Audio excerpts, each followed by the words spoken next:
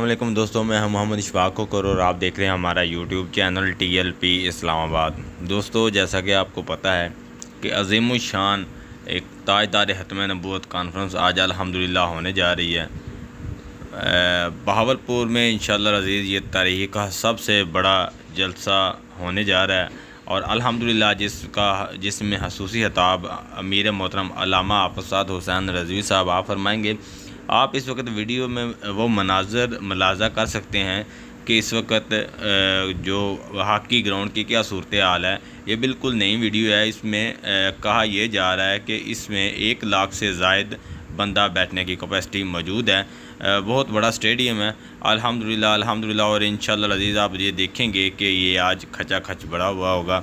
मुझे उम्मीद है कि आपको ये हमारी वीडियो अच्छी लगेगी। इस वीडियो में अपना कमेंट में अपने कीमती राय से ज़रूर आगाह कीजिएगा।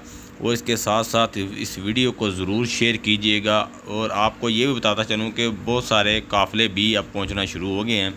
और इस वक्त आरफ वाला से एक काफ़िला जो है वो तहरीक लबैक की आरफ वाला से एक काफ़िला निकल चुका है और अल्हम्दुलिल्लाह ये इस बेहतरीन, बहुत ही ज़बरदस्त अजीम शान इस कॉन्फ्रेंस में शामिल होने के लिए दूर दूर से काफ़िले आएँगे। आप सब दोस्तों से गुजारिश है कि वीडियो को लाइक ज़रूर कीजिएगा और कमेंट में अपने कीमती राय से ज़रूर आगाह कीजिएगा। चैनल पर नए हैं तो चैनल को सब्सक्राइब किए बिना मत जाइएगा। शुक्रिया।